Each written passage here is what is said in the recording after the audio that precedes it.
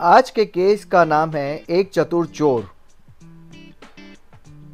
एक बरसाती रात में जासूस मेहुल एक चोर का पीछा कर रहा था।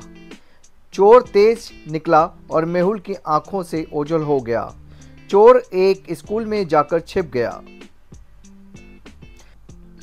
चोर ने नकाब पहना था, इसलिए मेहुल उसका चेहरा नहीं देख सका।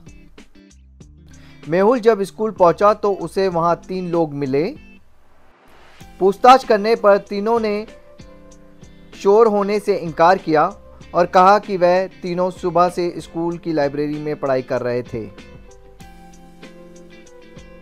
क्या आप बता सकते हैं इनमें से कौन चोर हैं?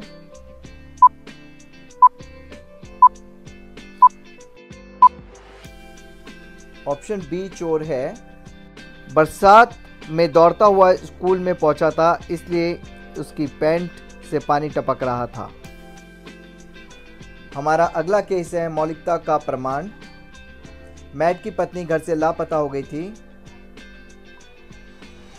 उसे एक संदेश मिलता है, अपनी पत्नी वापस चाहते हो तो 10 लाख रुपए लेकर पुराने गोडाउन में पहुंचो।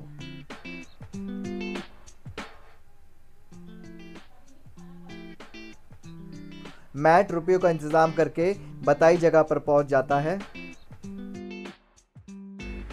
अपहरणकर्ता ने मैट को कहा कि इनमें से, तीनों में से एक आपकी पत्नी है। मैं आपको एक मौका देता हूँ।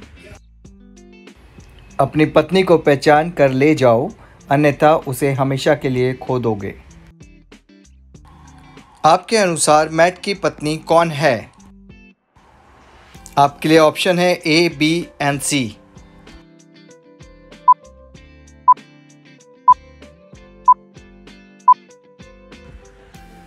Matt की पत्नी के सीने पर तिल है, जो ए के बी है। यही आपका उत्तर है। एक संयोजित हत्या। केन ने जासूस मेहुल को बुलाया और कहा कि सेलिन की हत्या हो गई है। मेहुल तुरंत घटना स्थल पर पहुँचता है।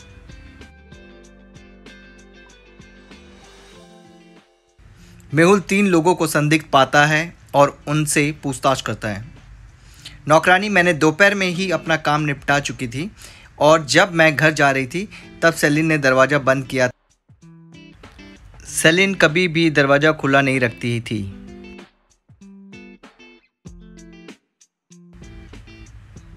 और सर, आज सुबह उसकी अपनी रूममेट के साथ लड़ाई हुई थी।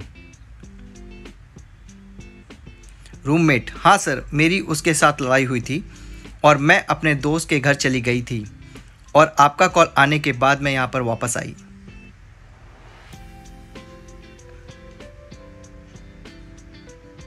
केन, मुझे सेलिन का कॉल आया था कि उसकी रूममेट के साथ लड़ाई हुई है।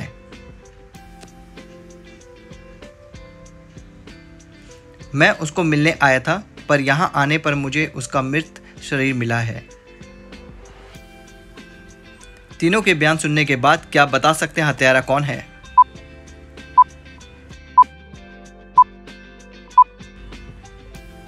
सेलिन हमेशा दरवाज़ा बंद रखती थी तो केन अंदर कैसे आया? केन के लिए दरवाज़ा सेलिन ने ही खोला होगा।